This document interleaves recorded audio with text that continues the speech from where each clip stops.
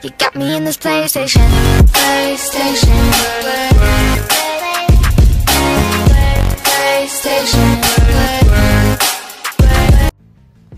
Oh my god, last night I have no idea what's going on. My belly was so bad. I can't really sleep, so I feel bored. Something interesting, which is a chunky sweater. I found something I really like. Here, however, when I look at the price, it's over 300. Wow! I don't think I can afford it. What? So I decided to make this chunky sweater by my own hand. Seriously? I have no idea how to knitting, how to crochet. Huh? I'm going to start it. I have some idea how to make this beautiful chunky sweater. So let me bring you to my mystery chunky sweater So the pattern is very simple, just one big rectangular block and two small rectangular blocks and two slips. So I select the three colors. The yarn is 100% wool and very soft and warm. To start with, I use a needle to knit it. The texture turned out extremely heavy and thick, which I don't like it. I prefer the crochet made by hand much softer and thinner. In order to get thinner and softer texture crochet, I decided to made by hand and start over all of them. About the size is really depend on how large you want.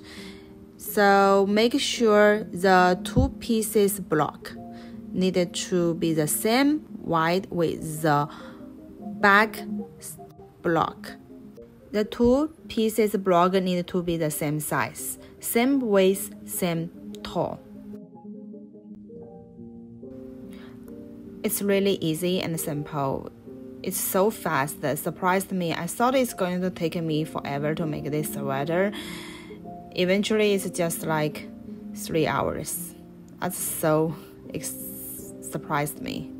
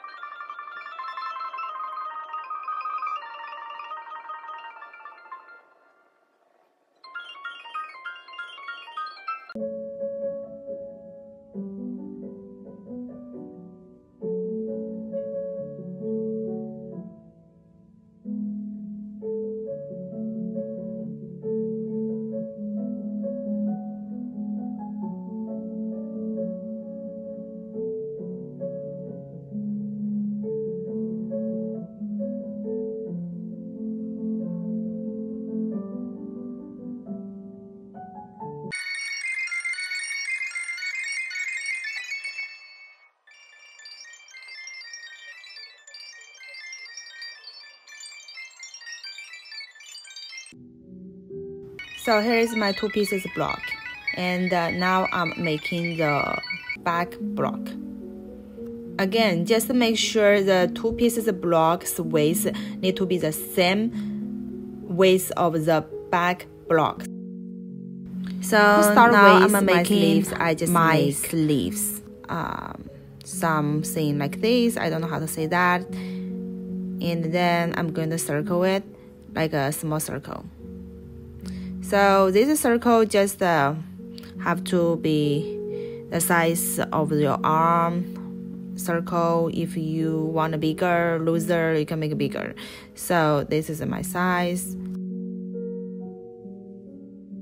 Once it uh, reaches your ideal size, just uh, make a, a small turn and then connect the other end of this yarn or this uh, crochet. so that you can get a circle sleeves.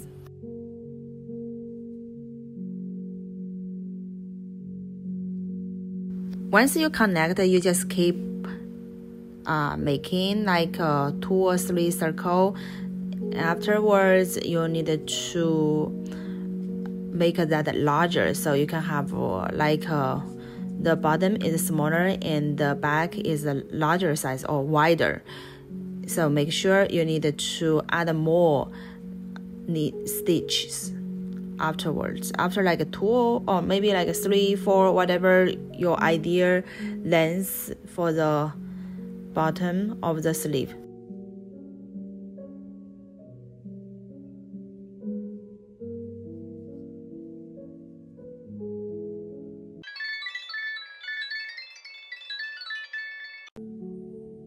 now I'm adding the stitch. So I just uh, pour out a little uh, extra stitch on that top and I keep knitting it. That's how I made it. So I just add one stitch each stitch between each stitch. I hope that makes sense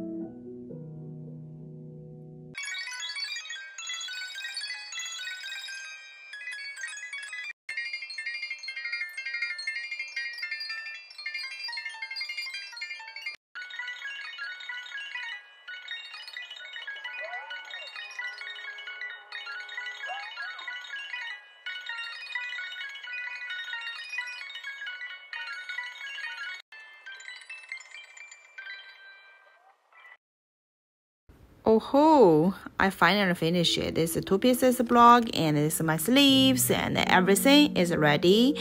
So I'm going to connect them together. As I run out of my yarn, I don't have enough, so I have to redo and then get the extra yarn out. I use the rest of the yarn which I used for cast off on each pieces as that extra yarn to connect each other. It works eventually. I'm glad.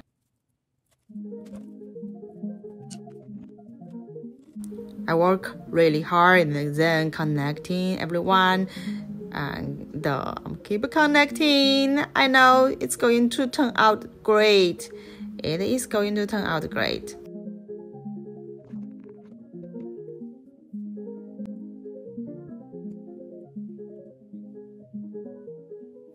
Oh my god, almost there. I'm so excited.